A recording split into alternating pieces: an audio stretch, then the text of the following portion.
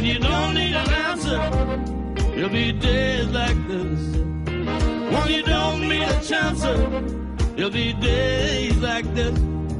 When you don't get betrayed by that old Judas kiss. And I must remember, there'll be days like this speak to Paul Hall, uh, former Portsmouth striker, of course, now Queen's Park Rangers, head of professional development and coach for the under 23s. Good evening, Paul. How are you? Good evening. I'm great. Thank you. Yourself?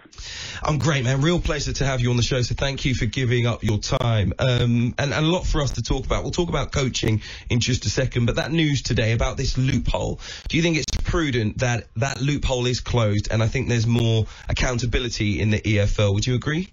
Yeah, there needs to be um, a fair process. There needs to be a fair chance of black coaches getting in and even getting in front of people because you know sometimes you may not fancy somebody, but soon as that person gets gets to the table and shows you that he may be an idea for you to to hire, then he might leave that interview and he might leave you with a different frame of mind. Maybe I maybe I could hire this guy, or maybe I could speak to somebody else who could hire this guy. You know that guy was quite impressive. So it's important to get black coaches to the table and at least to the interview process. Paul, I know you won't say this, so I'll say it for you, but you've done a tremendous job at QPR, and I know that you're extremely well thought of uh, in the coaching fraternity. Uh, do you feel, however, that it's going to be difficult to convince clubs and owners to sign up to this, which will give you people like you a chance because you can't simply tell people how they should spend their money? Yeah, yeah, definitely. I mean, I can. I'm just as good as any other coach out there. Um, I feel I've done my pro license. I've, I've educated myself up, as people suggested. You need to go out and get the education. Um, of course, I do need to have that chance.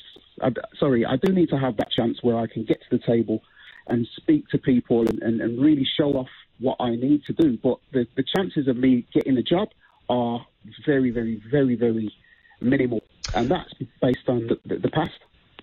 Paul, I have to ask you this. Earlier in the week, uh, Danny Mills was alongside me on Tuesday night. We were discussing um, opportunities for black coaches in the game. Now, Danny said to me that there would not be 20 black coaches good enough to work on a Premier League coaching staff. What's your view on that?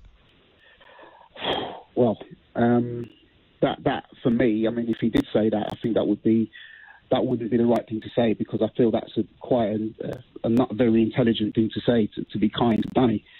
I don't think this country it, it is good enough with our coaching fraternity to be able to turn down coaches of any colour.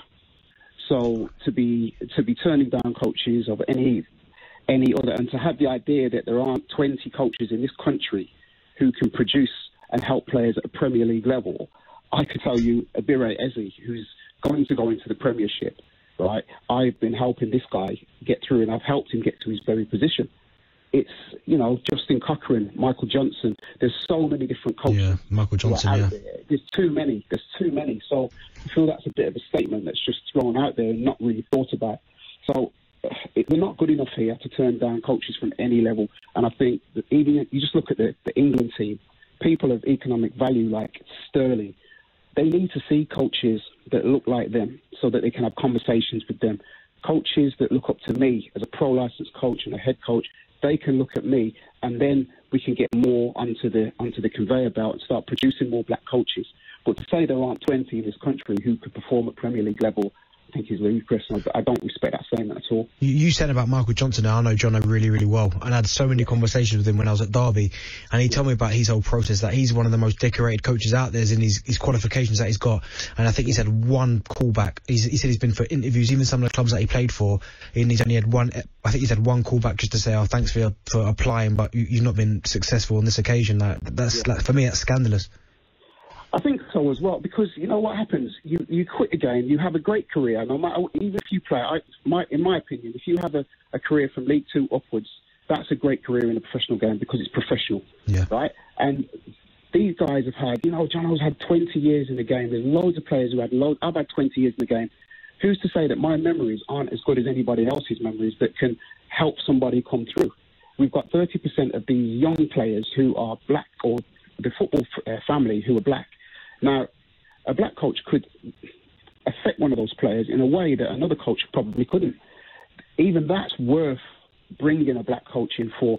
It's these guys. Jono is a decorated coach, and he cannot even get. Well, there's lots of interviews where he couldn't even get to the interview table, and uh, I think that's ludicrous because John Jono's a fantastic coach. There are loads of fantastic coaches out there, and we're losing too many players, ex-players, to media. Sorry, um, sorry, but we're losing them to media, we're losing them to agency, or we're losing them straight out of the game. If you look at Sol Campbell, Paul Ince, these guys had to start at Macclesfield, where Paul Ince was 10 points adrift to get a start. And this is Paul Ince we're talking about. Uh, uh, Paul, uh, can I add to what you're saying? I'll, I'll go a bit further. Love Danny Mills to bits, but I think what he said the other day is outrageous. And not only is it outrageous, but it's dangerous because what you are doing is fueling the tide. Fueling the tired narratives that have kept black coaches from getting the jobs that they should have done in the past. Six out of 91 managers in this country are black, Asian, or minority ethnic. You look at Chris Ramsey and the time he's been in the game, the players he's worked with in the game. You look at John Slarko, Eddie Newton. You look at Terry Connor, the work that he's done. You mentioned Michael Johnson already, Andy Myers. You look at Justin Cochrane and Jason Euell. To suggest that there are not 20 talented coaches in this country that could go up into the Premier League, operate at the highest level is simply outrageous. And it's we should we should characterize it as such. I know we all want to be diplomatic about this, but if we are trying to change a culture, then we have to call the incorrect things out for what they are. Hundred percent, and I and I and I believe that you nearly got to twenty just there. Right, so you cannot say that there aren't twenty coaches. You can't say that there aren't forty coaches, and to make a statement like that is, like you say, it's very very dangerous. And I don't accept that at all. I think that's a stupid statement, to be fair. And like you say, it's it's just not it's not right. It's not representative of us. And to, if you're not if you're a black coach, then you'll probably feel the pain. But he's not black. He doesn't feel the pain, so he's probably saying something like that just out of to say something on the radio, but or the television. But it's it's an untrue statement. Paul Hall, been a real pleasure to speak to you. Apologies, we haven't got more time to keep that conversation going.